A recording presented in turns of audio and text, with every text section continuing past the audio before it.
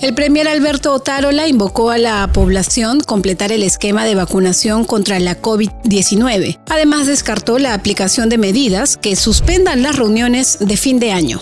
Una invocación a la responsabilidad que tiene el gobierno y las propias familias de proteger la salud, especialmente las personas vulnerables. Esta enfermedad está controlada, tenemos las vacunas suficientes y vamos a hacer un llamado a la población para que se coloque la vacuna bivalente. Buena noticia. Los centros Mega Alegra, con enfoque intercultural del Ministerio de Justicia y Derechos Humanos en Ucayali, Abancay y Cusco, brindaron asistencia legal gratuita a más de 12.000 personas de escasos recursos económicos y en situación de vulnerabilidad en lo que va del año. Usuarios fueron atendidos en Chipibo Conibo y Quechua por la Defensa Pública.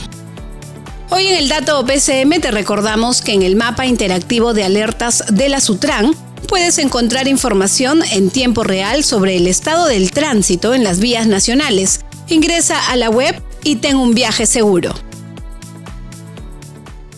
Compunche Perú, Gobierno del Perú.